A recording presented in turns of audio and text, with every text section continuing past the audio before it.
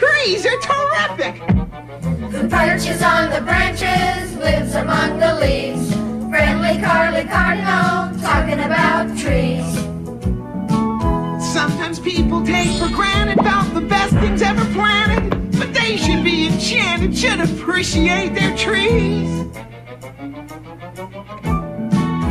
Could you have a forest glade? Build a treehouse where you play.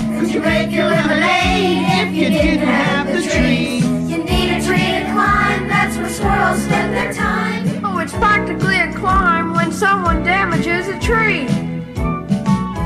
When you think about a tree,